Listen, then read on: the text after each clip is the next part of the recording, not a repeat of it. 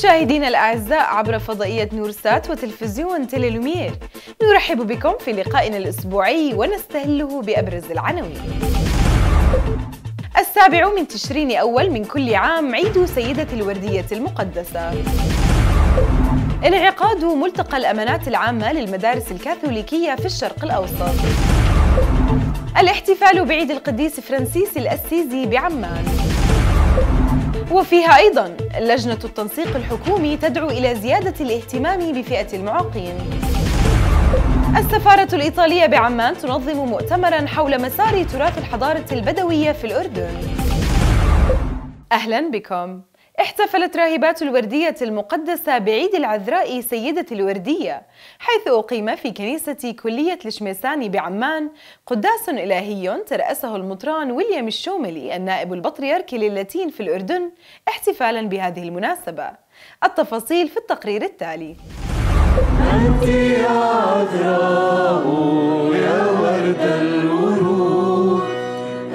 تحتفل الكنيسة الكاثوليكية في السابع من تشرين أول من كل عام بعيد العذراء سيدة الوردية حيث احتفلت راهبات الوردية المقدسة في كنيسة كلية راهبات الوردية في شميساني بهذه المناسبة بقداس إلهي ترأسه المطران ويليام الشوملي النائب البطريركي للاتين في الأردن. بمشاركة المونسنيور ماوروليلي القائم بأعمال السفارة البابوية بعمان والأخت مشلين معلوف المنتدبة الإقليمية للرهبنة الوردية في الأردن ورئيسة الكلية الأخت كونشيتا حسان وعدد من الآباء الكهنة والشمامسة ولفيف من الرهبان والراهبات ومعلمي وطلبة وكرال الكلية وجمع من المؤمنين.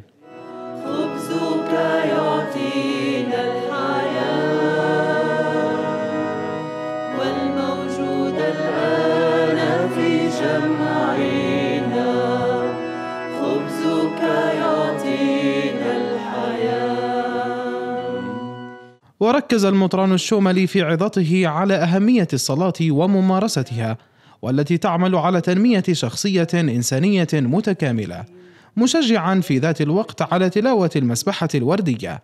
مضيفا إن كان لدينا الإيمان بأن العذراء هي أنموذج الإنسان الأعلى حيث يمكن أن نتعلم منها الكثير وبأنها شفيعة قديرة وأم حانية. فسنجد في صلاة السبحة الوردية القوة والسند والعزاء والوحدة في العائلة. وإذا كانت لدي نصيحة أنقلها إليكم هذا اليوم الموافق عيد الوردية فهي العودة إلى تلاوة الوردية في بيوتنا. كل ما أريد أن أقوله لكم هو جربوا عودوا إلى صلاة المسبحة الوردية صلوها كعائلة وإن تتمكنوا من السبحة فعليكم بجزء منها. إذا كان لدينا إيمان بقدرة الصلاة وبالمسيح الذي قال إذا اجتمع اثنان أو ثلاثة باسمي فأنا أكون بينهم. إذا كان لديكم إيمان بأن العذراء هي النموذج الإنساني الأعلى والتي يمكن أن نتعلم منها الكثير وأنها شفيعة قديرة وأم حانية فستجدون في صلاة المسبحة قوة وسندا وعزاء ووحدة للعائلة لأن الأسرة التي تصلي معا تعيش في وحدة كاملة. لنصلي من أجل أن يعيد الله إلى عالمنا الذي يسير نحو المجهول والمليء بالعنف. السلام المبني على العدل والمساواة.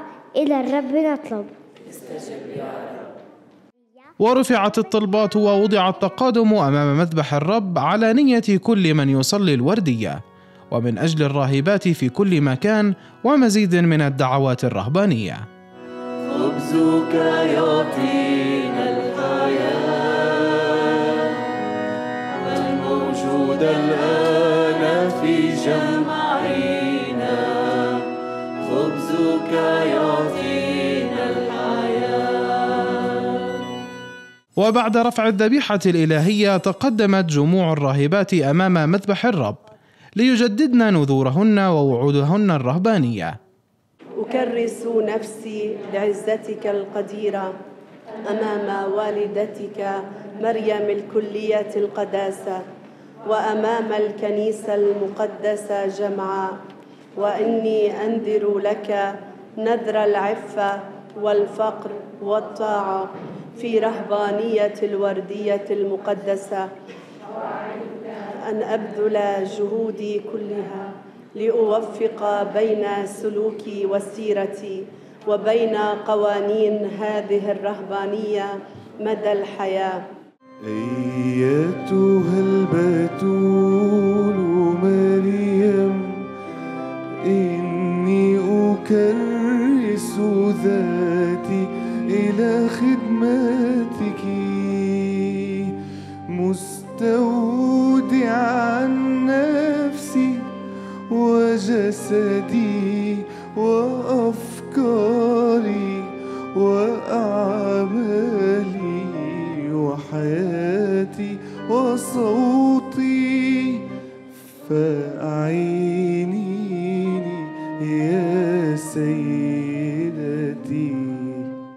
وشكرت الأخت لوريد زوايدة في كلمتها الحاضرين لتكريم سيدة الوردية في عيدها.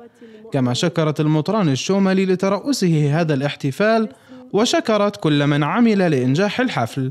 طالبة من الرب بشفاعة العذراء مريم موفور النعم وغزير البركات لجميع المؤمنين. طالبين لكم جميعا بشفاعة أمنا مريم العذراء أن تنالوا من الرب فيض نعمه وغزير بركاته. كل عام وأنتم إلى قلب الله أقرب. يا سلطانة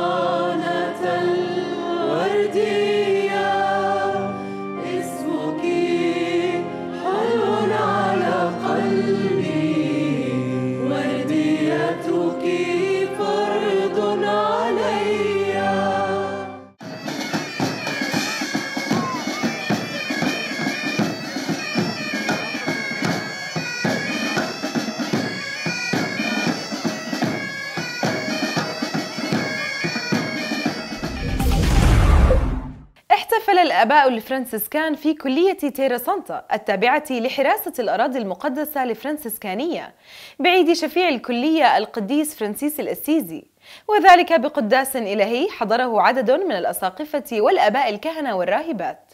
إلى المزيد.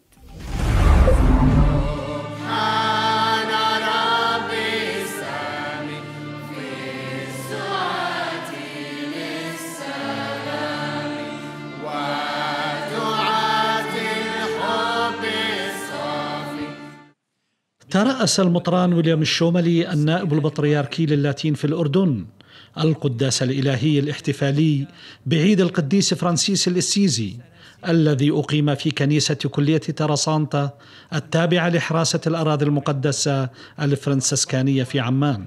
بمشاركة المونسنيور ماورو لالي القائم بأعمال السفارة البابوية بعمان وبمعاونة الأب رشيد مستريح مدير الكلية والأب فراس حجازين وعدد من الآباء الكهنة والشمامسة ولفيف من الرهبان والراهبات ومعلمي وطلبة الكلية وجمع من المؤمنين. جعلت الرب دوما نصب عيني لن أتزعزع لأنه من عن يميني. إن جسدي موسوما بسمات يسوع. فعلى روحكم أيها الإخوة نعمة ربنا يسوع المسيح. آمين.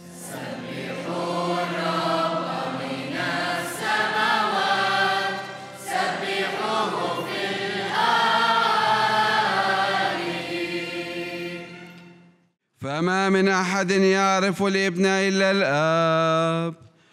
وبعد تلاوة كلمات الكتاب المقدس قال المطران الشوملي في عظته نحتفل اليوم بعيد القديس فرانسيس الإسيزي الذي وصفه أحد اللاهوتيين بأنه القديس الأكثر شبها بالسيد المسيح وذلك بسبب تواضعه وفقره والسمات الخمسة التي وسم بها في يديه ورجليه وجنبه.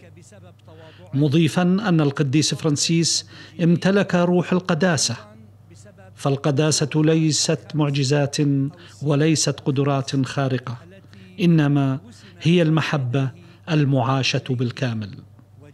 يطيب لي أن أرى القداسة في شعب الله الصبور في الأمهات والآباء الذين يربون أبناءهم بمحبة كبيرة. في أولئك الرجال والنساء الذين يكدون ليحملوا الخبز إلى البيت. وفي المرضى وفي الراهبات المسنات اللواتي لا تفارق الابتسامة ثغورهن.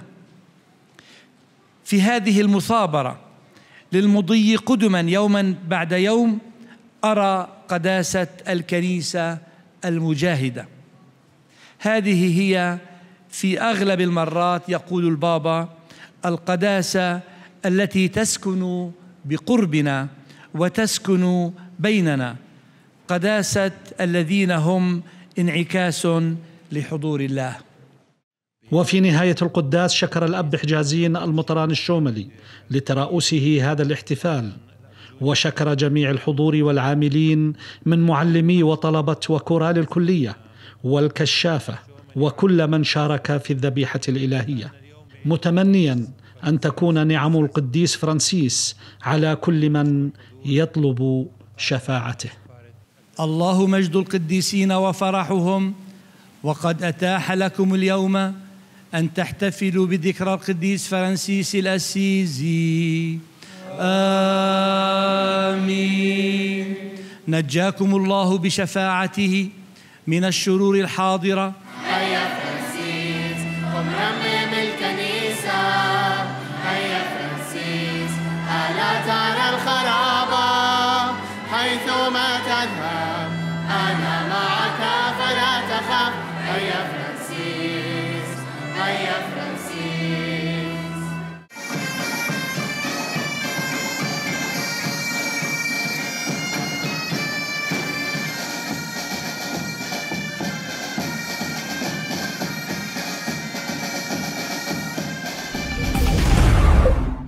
بدعوة من مجلس رؤساء الكنائس الكاثوليكية في الأرض المقدسة وبتنظيم من جمعية الكاريتاس الأردنية.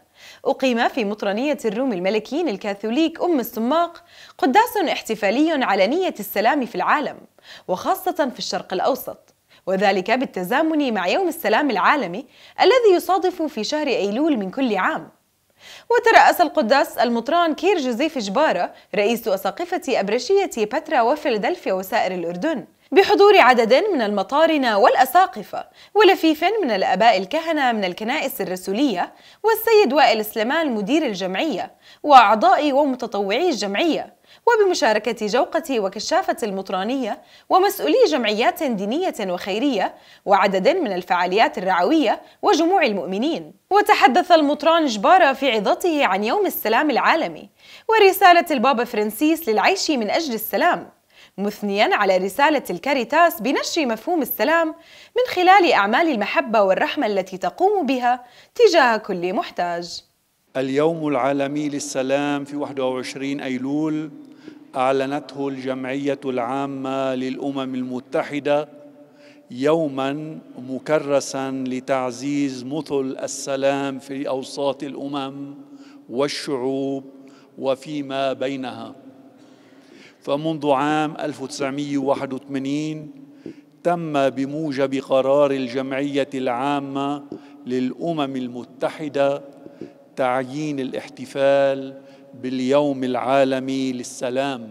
السلام أيها الأحبة هو من صلب حياتنا المسيحية وأول دعوة سمعت يوم التجسد تقول المجد لله في العلا وعلى الأرض السلام. منذ آلاف السنين وهذه الأرض بحاجة ونحن بحاجة أكثر فأكثر إلى هذا السلام. اليوم صلينا كلنا سوا مع المؤمنين مع كاريتاس ومع الأساقفة في الأراضي المقدسة ومع الشعب المؤمن من أجل إحلال هذا السلام. كلنا بنتأمل كلنا بنصلي من, عن من أجل هذه النية. والإنجيل بحد ذاته بيقول طوبى لفاعل السلام. الصلاة لحالها ما بتكفي نوعا ما. نحن بحاجة أنه نفعل من أجل السلام. بحاجة أنه نزيل البغضاء من قلوبنا بحاجة أنه نزيل الحقد من قلوبنا نزيل العداوة بين الشعوب بين الأمم بين الطوائف بين الأديان المختلفة حتى يحل السلام بطريقة عملية إلى جانب الصلاة اللي صليناها اليوم. شكرا لتلفزيون نور شكرا لكل المؤمنين اللي شاركونا بهذه الصلاة الجميلة. أمين. استفدنا الكاريتاس الأردنية من اجتماعات مجلس الأساقفة الكاثوليك للأراضي المقدسة حتى ندعو لصلاة من أجل السلام اللي هي طبعا أكيد كم من يوم بعد اليوم العالمي للسلام واللي الكاريتاس من ثلاث سنوات ملتزمة مع قداسة البابا فرانسيس لنشر قيم وفكر السلام. فكنا استفدنا من هاي الفرصة أنه مجلس أساقفة عنده اجتماعاتهم بعمان حتى نعمل هذا القداس الرائع اللي رفعنا أكيد في كل الصلوات من أجل السلام بالعالم كله بس بشكل خاص بالشرق الأوسط. أقيمت في كنيسة الراعي الصالح الإنجيلية اللوثرية بعمان احتفالية أحد الشكر التي ترأسها القس سامر عازر راعي الكنيسة بمشاركة سيادة المطران كير جوزيف جبارة رئيس أساقفة أبرشية بترا وفيلادلفيا وسائر الأردن وبحضور جموع المؤمنين وأبناء الرعية. وتحدث القس عازر عن معنى أحد الشكر في الكنيسة اللوثرية قائلاً إنه مفهوم كتابي روحي يقوم على ضرورة تقديم الشكر لله على كل النعم والبركات الروحية والجسدية التي يهبها الله لنا يومياً. شكرنا يجب أن يترجم بأفعالنا. الشكر لله ليس مجرد كلمات نقولها ونأتي في أحد واحد ونقدم الفواكه والخضروات أو حتى التقديمات المادية. شكرنا هو عملنا هو خيرنا. هو كلمات المحبة هو التعاضد هو التعاطف. نحن نعرف أن الله باركنا بكثير من الأمور التي لم يبارك بها غيرنا. فشكرنا لله. هو السجود والعبادة لله شكره على نعمه وبركاته. وانطلاقا من هذه الحالة الإيمانية نمد يدنا لنساعد المجتمع من حولنا ليرى هذه البركات فتعود بالمحصلة على شكر الله على كل النعم والبركات على أنه يسخر ملائكته خداما من خلال البشر. الملائكة هم خدام الله على الأرض هم البشر الذين يعينون في كل الأحوال.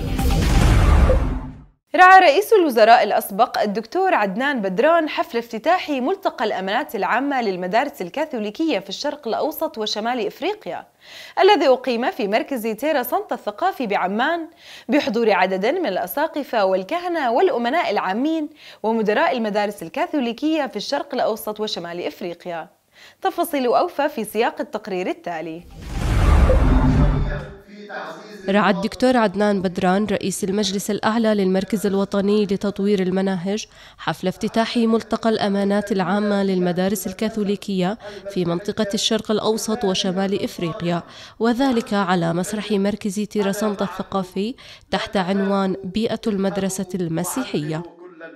وحضر اللقاء السفير البابوي لدى الأردن المونسنيور ألبرتو أورتيغا مارتن والمطران كير جوزيف جبارة رئيس أساقفة أبرشية بيترا وفيلادلفيا وسائر الأردن والمطران إيفيديس إبريجيان والأب رشيد مستريح مدير الكلية والأخت مشلين معلوف الرئيسة الإقليمية لراهبات الوردية في الأردن والأخت إيلين فرح الرئيسة العامة للراهبات الفرنسيسكانيات وعدد من الآباء الكهنة والراهبات والأم الأمناء العامين ومدراء المدارس الكاثوليكية في الشرق الأوسط وشمال إفريقيا وعدد من الكوادر الإدارية والتعليمية.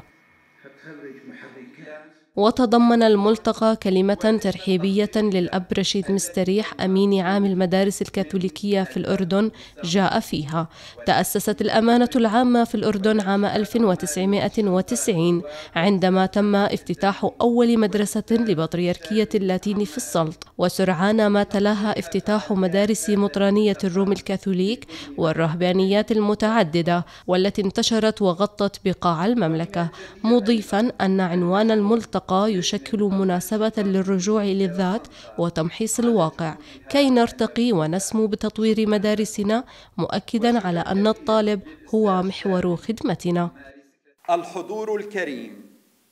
تأسست الأمانة العامة في الأردن في عام 1990 ولكن جذورها تعود إلى عام 1869 عندما تم افتتاح أول مدرسة لبطريركية اللاتين في السلط وسرعان ما تلاها افتتاح مدارس مطرانية الروم الكاثوليك والرهبانيات المتعددة والتي انتشرت وغطت بقاع المملكة من شمالها إلى جنوبها.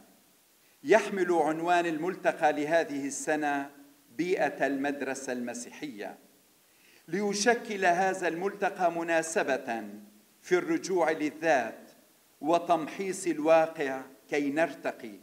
ونسمو بتطوير مدارسنا مؤكدين على أن الطالب هو محور خدمتنا الذي تصب فيه كافة العناصر والمؤثرات الداعمة لخلق بيئة دائمة التطور في مكونيها الثقافي والروحي وشدد الدكتور عدنان بدران في كلمته على أهمية إعادة صناعة المدرسة ودورها كحاضنة رئيسة لتنمية المهارات المعرفية وتنمية الذكاء وصياغة شخصية الطالب المتوازنة من النواحي السلوكية والأخلاقية والروحية والثقافية والفنية والاعتماد على الذات.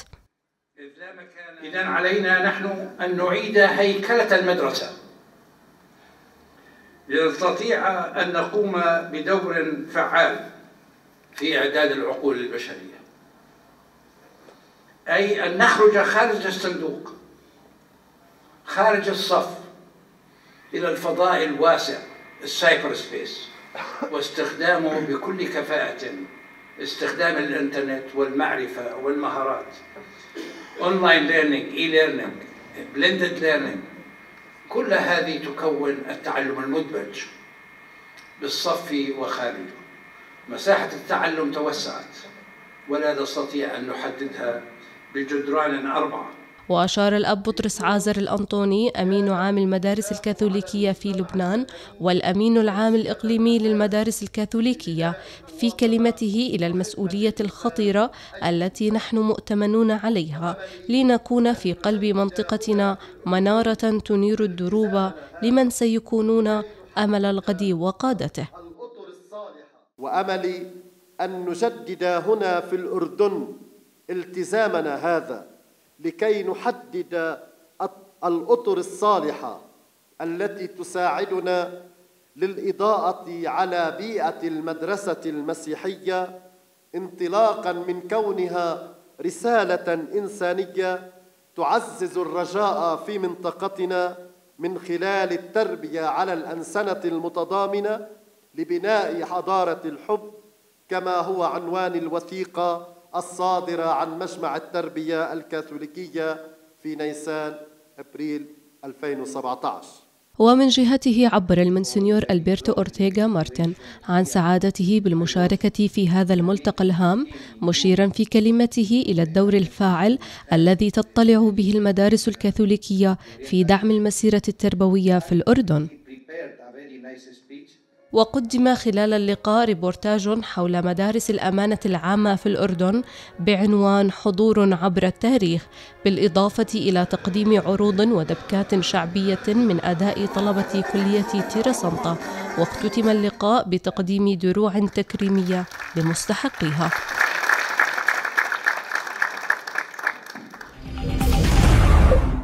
رعى سمو الأمير مرعد بن رعد رئيس المجلس الأعلى لشؤون الأشخاص المعوقين. اللقاء الذي نظمه فريق التنسيق الحكومي لحقوق الإنسان بالمركز الثقافي الملكي لضباط ارتباط حقوق الإنسان في المؤسسات الأردنية الرسمية والخاصة.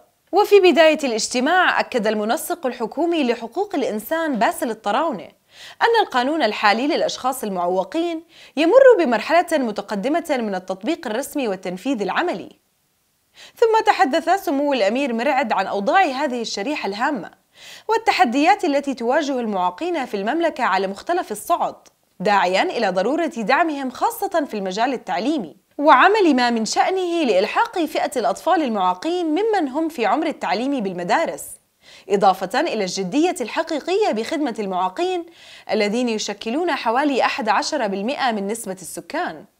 مشددا سموه على ضرورة تغيير النظرة المجتمعية السلبية تجاه الأشخاص ذوي الإعاقة. هذه الخطة مرسلة لنا من قبل جلالة الملك وهي ملزمة لكل الحكومات. فأرجو عليكم وأتمنى عليكم لأننا ما بعد ال UPR سنجلس إن شاء الله بعام 2019 في بداية عام 2019 وسنقوم بمراجعة تفقدية رسمية للخطة الوطنية الشاملة لحقوق الإنسان أمام الشركاء أمام الشركاء وأصحاب المصلحة وأمام كافة الهيئات ومؤسساتها الوطنية. وفي مقدمتهم طبعا المركز الوطني لحقوق الإنسان لأنه كان شريكا في إعداد هذه الخطة ومضامين هذه الخطة. فبالتالي هذه الشراكة تتحقق ببداية عام 2019 أي بداية أيضا عام مزيد من العمل حيال إنفاذ برامج الخطة العشرية لحقوق الإنسان أتمنى أن تؤخذ بعين الاعتبار وهي مسجلة في محضر هذا اللقاء وهذا الاجتماع أي برامج نوعية أرجو تزويدنا بها حتى نتمكن من تحقيق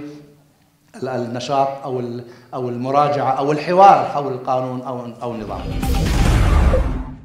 في إطار السنة الأوروبية للتراث الثقافي 2018 نظمت السفارة الإيطالية في المركز الثقافي الإيطالي بعمان وبالتعاون مع هيئة المراكز الثقافية لدول الاتحاد الأوروبي في الأردن مؤتمرا للدكتورة لوكا بولارولو من جامعة جنيف في سويسرا بعنوان حجار الديسي مسار تراث الحضارة البدوية في الأردن.